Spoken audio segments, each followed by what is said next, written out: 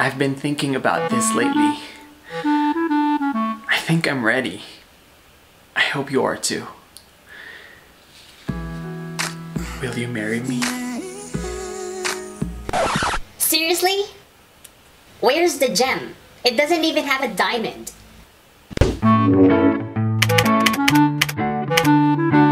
Hello everyone, I'm Ben, and welcome back to another episode of LABI EduVids, Learning Appreciation by Innovation, banking on the ATMs of speech writing, where we talk about tips and techniques on how to enhance your pen to podium skill.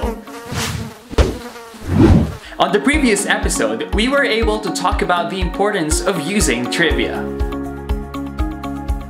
And for today's episode, we will be talking about memory gems. Memory gems. G, like gold, always precious and always longed for. E, like emerald. A sprinkle of greens from memory gems gives you an elegant and fresh new twist.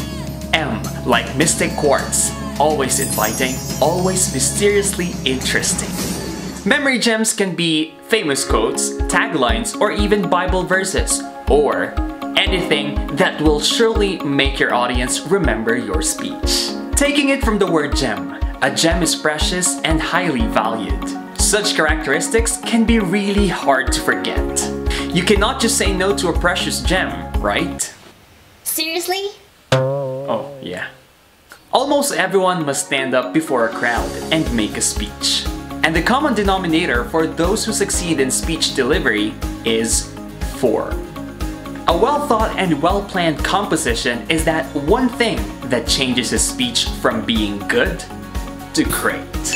From being so-so to extraordinary. From being weak, unimpressive, and unsuccessful to being compelling, enthralling, and captivating.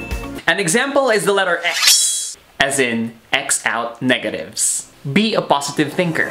Positive thinking means seeing a butterfly in a caterpillar. For now, what you see is a caterpillar, but in no time, that caterpillar will soon metamorphose into a beautiful butterfly.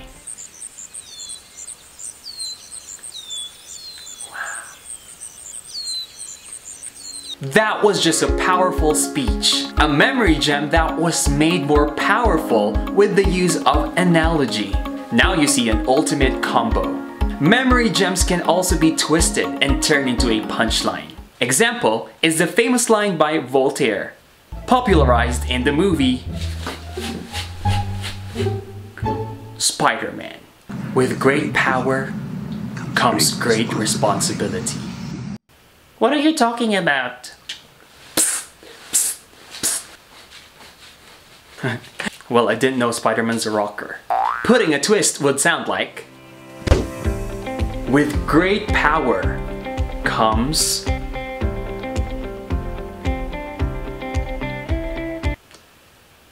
the electric bill.